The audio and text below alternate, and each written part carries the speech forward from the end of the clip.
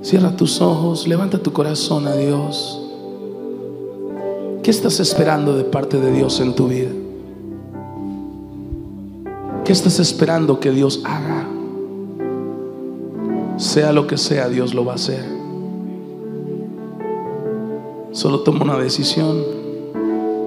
Moverte en fe conforme a su palabra. Ese es mi mensaje de hoy. Si tú te mueves en fe conforme a lo que Dios te diga, conforme a su palabra, yo te prometo que verás su gloria en todo lo que hagas. Y nadie te lo podrá quitar en el nombre de Jesús. Yo te prometo que verás un matrimonio firme, sólido, bendecido. Tendrás una vida próspera, bendecida. Porque Dios es real, Dios es bueno.